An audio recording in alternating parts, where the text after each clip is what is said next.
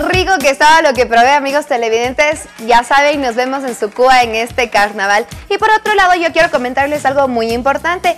Y es que la limpieza de las playas son muy importante. Hay imágenes de nuestras playas sucias en fin de año. Es lo que recordamos los ecuatorianos y es que cada año 12 millones de libras de desechos se encuentran en aproximadamente 30 mil kilómetros de costa de todo el mundo. Y por más que existan voluntarios que se unan para limpiar las playas, la solución no es esa. Algunos activistas argumentan que tales limpiezas voluntarias no son la mejor manera de abordar la contaminación por plásticos que está destruyendo las playas. Según los datos del Ministerio del Ambiente del Ecuador, la huella que dejan los turistas en las playas es del 0.73 kilos de basura por día. Se acerca otro feriado y si deseamos viajar, debemos ser responsables de nuestra basura. Así que a continuación veamos una nota introductoria y al regresar trataremos este tema con dos ambientalistas.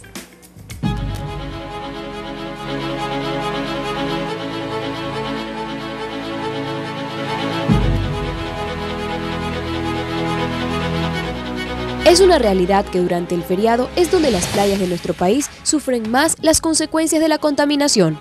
Muchos disfrutan del mar, pero pocos recogen sus desechos. Estas imágenes de cómo quedaron algunos balnearios en el feriado de fin de año causaron indignación en redes sociales.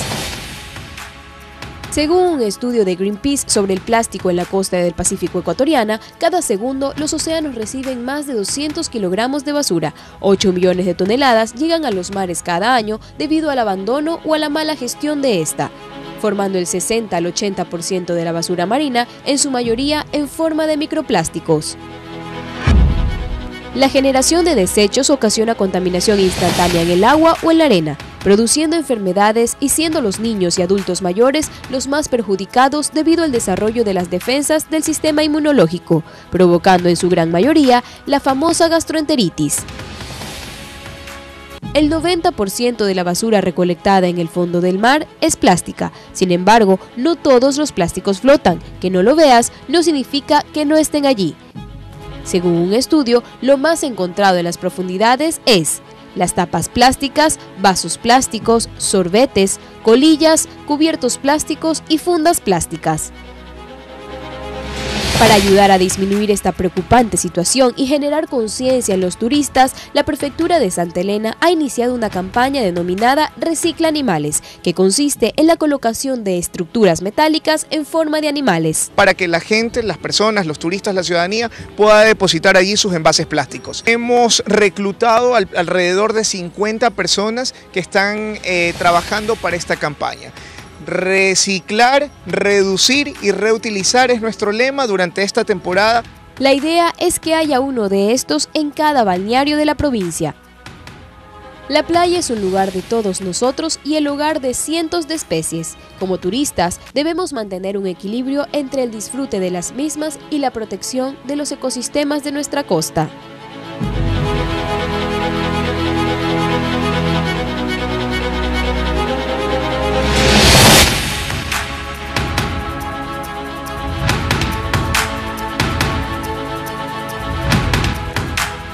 Hay que ser responsables de nuestra basura. Con eso me quedé yo eh, en realidad. Y nuestras invitadas del día de hoy para hablar sobre cómo podemos ser responsables sobre nuestra basura se encuentran con nosotros Chechi Torres, ella es de la Fundación Mingas por el Mar, y Daniela Gil de la Fundación Amiguitos del Océano. Nosotros no debemos ensuciar las playas, ni este carnaval, ni nunca. ¿Cómo están chicas? Muy buenos días, bienvenidas. Muchas gracias por la invitación. Bueno, ¿Cómo podemos ser responsables de nuestra propia basura? En realidad lo que hemos em, percibido en todos estos años de limpiar las playas es que no solamente debemos limpiar e intentar eh, que las playas estén limpias o, o hacer que los turistas se comporten bien cuando visiten las playas, sino que estamos de, eh, produciendo demasiada basura, no solamente en la playa, sino también en las ciudades. Y hay una conexión de las ciudades con el mar. Muchos de esos desechos que encontramos en las playas eh, provienen de otros sitios traídos por las corrientes. Entonces, eh, lo que está sucediendo es que en la playa se está comercializando muchísimo, eh, muchísimos alimentos y bebidas en plásticos desechables, muchos de ellos que no son ni siquiera reciclables a nivel local.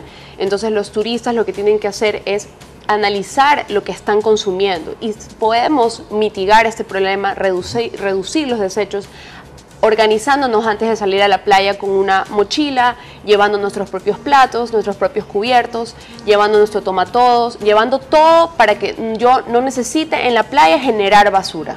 Eso es lo principal. Y, aplaudimos eh, la gestión que están haciendo en Santa Elena, por ejemplo, el ubicar esos grandes eh, tachos de basura en forma de animales, pero eso no es suficiente. Como tú bien lo has dicho, tenemos que generar nuevas conductas y sobre todo crear conciencia. Ahora, ¿cómo mm. llegamos a la población a crear esa conciencia de analizar, de parar un momento y decir, a ver, voy a analizar lo que estoy consumiendo, qué tanto estoy ensuciando y qué repercusión tendrá esto en cada acción que yo haga? Entonces, ¿Cómo llegamos al televidente que nos está viendo? Porque ya se acerca este carnaval, ya nos vamos a la playa o a cualquier otro lado de la ciudad. ¿Qué hacemos? Yo creo que también es importantísimo, eh, primerito, es el tema de lo que decía Chechi, reducir nuestros desperdicios, nuestro, estar un poco más conscientes de qué estoy consumiendo, cómo lo consumo, eh, de dónde vienen estas cosas, eh, qué estoy utilizando mientras estoy consumiéndolo. Pero hay un punto, un punto clave que estás mencionando que es, no es y suficiente tal vez ciertas campañas o tienen que estar más bien complementadas con educación ambiental. Claro. Las personas a veces eh, no entienden por qué yo tengo que dejar de hacer esto o por qué tengo que hacer aquello si tú no tienes una conexión real con el problema. Entonces a veces vemos que en ciertas campañas tienen muy buena... Em, muy buena intención de tratar de, reducir el plástico, de tratar de, hacer algo al respecto, pero estamos olvidándonos de enseñar a las personas por qué es importante hacerlo.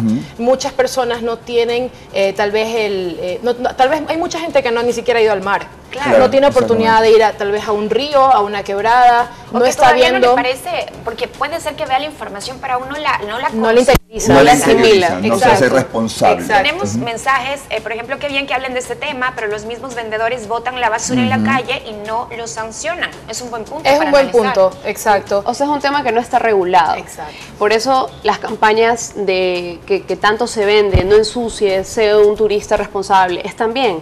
Pero si nos vamos más allá, o sea, más a la raíz del problema. La misma, la misma basura de los, de los, de los hogares no está bien gestionada. Correcto. Es decir, el Ecuador actualmente tiene, la mayor parte de las ciudades tiene botaderos a cielo abierto, es decir, que son montañas de basura que están a la intemperie. Y que se entierran. ¿Qué se hace con esa basura? El mejor de los casos se entierra, porque en realidad... Guayaquil, digamos, tiene un relleno sanitario. Sí, porque eso es lo que nos, llama también la atención. ¿Qué se hace con esa basura? O sea, ¿a dónde se va? ¿Se la recicla? Porque hay muchísimas familias, inclusive, que vemos que trabajan en, reciclaje, en, eh, unas condiciones infrahumanas. ¿Verdad? Entonces, ah. ¿Qué se hace al respecto? yo, creo que, yo creo que hay, una, hay un antes y un después de las personas cuando puedes visitar un relleno sanitario, un botadero. Es bastante dura y es difícil la situación porque tú, como tú dices, son condiciones infrahumanas. Totalmente. Es persona que se eh, literalmente bucea, se mete en montañas de basura para tratar de captar artículos que se puedan reciclar. Claro. Ahí necesitamos políticas... Eh, eh, municipales, políticas de gestión que también ya introduzcan a las autoridades para organizar el tema. Pero tenemos mensajes eh, antes de continuar. ¿Hay multas para la gente que bota pañales y botellas en el mar? Mm. No existen multas así. Ahorita, eh, aquí en Guayaquil, hay una regulación local que están multando, pero es por dejar en deshoras la basura en las calles o en sitios que no son permitidos. O sea, fuera de los horarios. Exacto. Si queremos ayudar a las mingas de limpieza, ¿cómo podemos hacer? Esto es muy bueno, esta voluntad y lo que ustedes hacen también es maravilloso, pero como tú dices, el trabajo tiene que ser desde la raíz, porque si no es como seguir limpiando y se sigue ensuciando y se sigue limpiando y esto no que termina nunca. En realidad nosotros lo que estamos haciendo este año, estamos muy enfocados eh, bueno, el 2018-2019 contábamos sorbete por sorbete, colilla por colilla, por este trabajo nos dio unos resultados muy, muy buenos para hacer ya campañas puntuales de qué es lo que más estamos encontrando.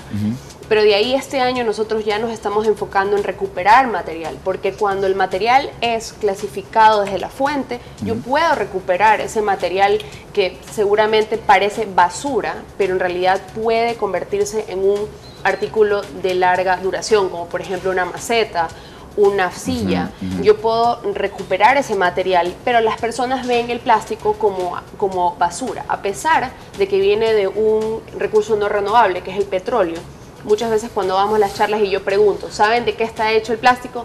Nadie me responde que es de falta Pero- educación. Eso sí, tuvimos un paro que movió, puso de, de- de- De cabeza. de cabeza De cabeza al al país por un- el mismo recurso. Claro. Entonces, eh, no es, o sea, no, no, no entendemos cómo es posible que sigamos cayendo en, la misma, en el mismo error de utilizar un recurso no renovable para hacer artículos desechables, cuando yo puedo eh, hacerme cargo de mis hábitos y llevar mis, mi vaso, mi taza, mi termo, mi- mis platos. O sea, yo, por Claro. ejemplo, voy a la playa y me gusta comer un, un bollo, me gusta comer un choclo, o sea, Pero llevas tus propios utensilios. Pero Esa mis propios recomendación utensilios. es muy- válida bueno, para este así es. feriado, ¿no? Es muy importante, puedes simplemente tener una hielera ya con tus cosas, tú sales de tu casa con todo lo que necesitas. Perfecto. Para Perfecto. Muchísimas gracias, Chechi. Muchísimas gracias, Daniela. Sigan adelante, por favor, y síganos de alguna manera ayudando también a preservar nuestro planeta.